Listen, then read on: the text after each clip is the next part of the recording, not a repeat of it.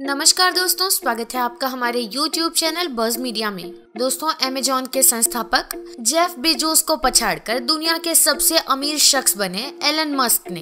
न केवल electric car company Tesla के संस्थापक हैं, बल्कि उनके जीवन के बारे में कई सारी ऐसी बातें हैं जो आप जानना चाहेंगे। टेस्ला के अलावा एलन मस्क फ़िलहाल चार और कंपनियों के भी मालिक हैं। एलन मस्क 2001 से स्पेस से जुड़े आइडिया पर काम कर रहे थे इसके बाद 2002 में उन्होंने स्पेस एक्स खोली। उन्होंने 100 मिलियन डॉलर की लागत से यह कंपनी खोली थी। यह कंपनी रॉकेट बनाती है और उन्हें अंतरिक्ष में भेजती है। माना जाता है कि इस कंपनी ने वो प्रोजेक्ट भी किए हैं जो नासा भी नहीं कर पाया। अपनी इलेक्ट्रिक कारों के लिए मशहूर टेस्ला के लिए एलन मस्क जाने जाते हैं। एलन मस्क 2004 में बोर्ड ऑफ़ डायरेक्टर्स के रूप में टेस्ला से जुड़े थे। इसके बाद कंपनी ने काफ़ी तरक्की की। वो उस कंपनी के सीईओ और प्रोडक्ट आर्किटेक्ट के तौर पर काम किया। एलन मस्क के पास कॉलेज के दिनों में इतना पैसा नहीं होता था। वो केवल हॉट डॉग और संतरे पर पूरा दिन गुजार देते थे।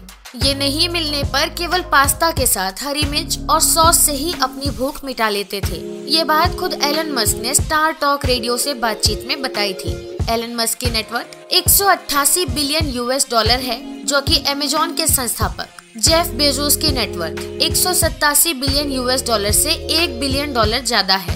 ब्लूमबर्ग की ओर से जारी की जाने वाले अरबपतियों की सूची में एलन मस्क को पहले स्थान पर रखा गया है। इस लिस्ट के अनुसार अब उन्होंने अमेजोन के मालिक जेफ बेजोस को पीछे छोड़ दिया है। इस सूची में 500 अरबपति शामिल हैं। बता दें कि बेजोस 2017 से दुनिया के सबसे अमीर शख्स थे। एलन मस्क सोलर और इलेक्ट्रिसिटी के क्षेत्र में काम करने वाली कंपनी सोलर सिटी में भी हिस्सेदार है। अपनी इलेक्ट्रिक टनल के लिए जानी जाती द बोरिंग कंपनी का भी संचालन भी मस्क के हाथ में ही है। इसके अलावा इंसानी दिमाग या शरीर को रोबोट से जोड़ने को लेकर रिसर्च कर रही न्यूरा लिंक में भी हिस्सेदारी है। तो दोस्तों, एलन मस्क के बारे में आप क्या कहना चाहेंगे? कमेंट सेक्शन में हमें ज़रूर बताएँ। इस वीडियो को लाइक करें, शेयर करें और ऐसी ही खबरों को पाने के लिए हमारे चैनल को सब्सक्राइब करें और बेल आइकन को ज़रूर दबा दें।